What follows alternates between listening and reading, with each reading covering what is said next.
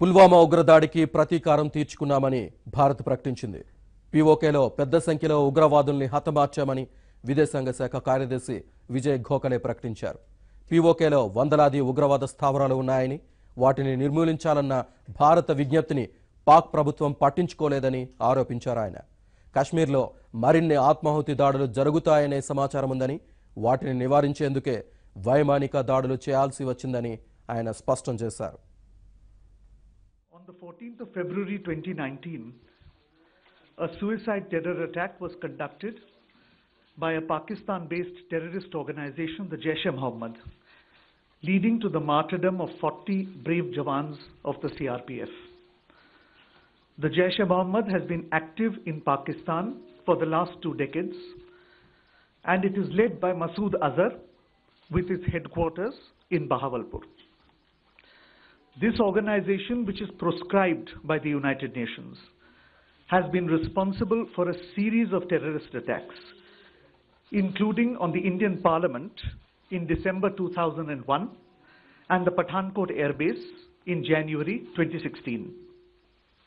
Information regarding the location of training camps in Pakistan and in Pakistan occupied Jammu and Kashmir has been provided to Pakistan from time to time. Pakistan, however, denies their existence. The existence of such massive training facilities capable of training hundreds of jihadis could not have functioned without the knowledge of the Pakistan authorities. India has been repeatedly urging Pakistan to take action against the Jaish-e-Mohammed to prevent jihadis from being trained and armed inside Pakistan. Pakistan has taken no concrete action to dismantle the infrastructure of terrorism on its soil. Credible intelligence was received that the Jaish-e-Mohammed was attempting other suicide terror attacks in various parts of the country, and the Fidayeen jihadis were being trained for this purpose. In the face of imminent danger, a preemptive strike became absolutely necessary. In an intelligence-led operation in the early hours of today, India struck the biggest training camp of the Jaish-e-Mohammed in Balakot. In this operation, a very large number of Jaish-e-Mohammed terrorists, trainers, senior commanders, and groups of jihadis who were being trained for Fidayin action were eliminated. This facility at Balakot was headed by Maulana Yusuf Azhar, alias Ustad Ghori, the brother-in-law of Masood Azhar, chief of the JEM. The government of India is firmly and resolutely committed to taking all necessary measures to fight the menace of terrorism. Hence, this non-military preemptive action was specifically targeted at the Jaish-e-Mohammed camp. The selection of the target was also conditioned by our desire to avoid civilian casualties. The facility is located in thick forest on a hilltop far away from any civilian presence.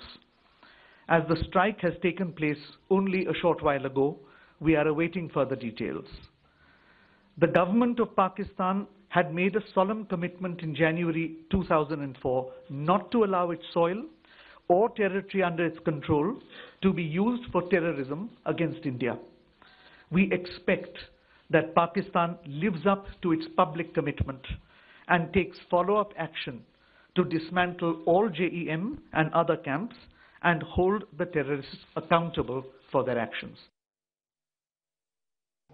प्रधानमंत्री नरेंद्र मोदी जी ने कहा था कि कैसे, कब और कितना करना ये सेना को छूट दी है और सेना ने ज़बरदस्त पराक्रम किया है, उनको बहुत बहुत बधाई अभी तो यहाँ तक जो आज किया है, पिछले दस दिन में जो पुलवामा के आतंकी साजिश करता थे, उनको मार गिराया सौ घंटे में इन मोस्ट फेवर्ड नेशन का दर्जा खत्म किया 200 परसेंट ड्यूटी लगाई, जो अलगाववादियों का सिक्योरिटी के बारे में निर्णय लिया, और पानी जो भारत के हिस्से का भी जा रहा था, न जाने देने का निर्णय किया, और आज ये सेना का महापराक्रम किया है।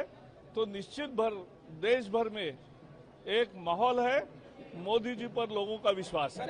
ये बहुत ज़बरदस्त देश के रक्षा के लिए आवश्यक कदम उठाया है सेना ने, और सेना को इस तरह के कदम उठाने की छूट प्रधानमंत्री नरेंद्र मोदी जी ने दी थी। अब सेना के पीछे पूरा देश खड़ा है।